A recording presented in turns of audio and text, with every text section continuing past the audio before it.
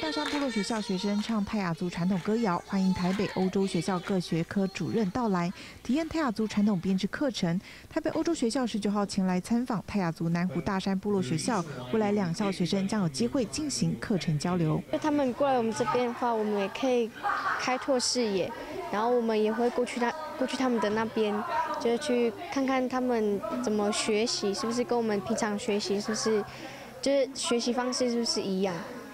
嗯，就是在文化或是学业上都可以有一些交流。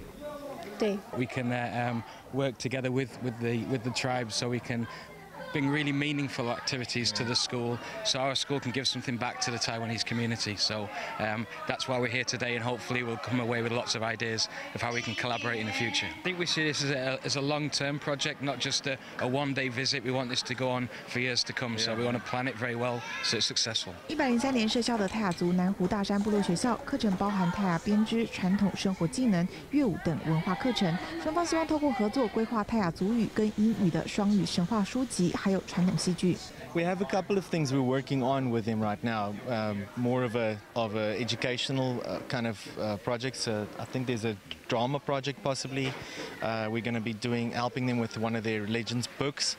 Uh, we're also going to uh, possibly do a music project in the future. 透过这样的一个交流活动，哦，能够让我们自己呃部落啊原住民族文化的一些呃比较优美的一些部分，能够让国际友人，让他们的一些呃 小孩子啊能够学习得到啊。那也透过这个交流的过程，能够让所谓的不同文化之间相互的认识啊，相互的理解，甚至相互的尊重。这次台北欧洲学校前来参访南湖大山部落学校，除了让双方学校学生有机会彼此认识，也搭起族群文化交流的一座桥梁。这是在乌鲁伊兰南澳采访报道。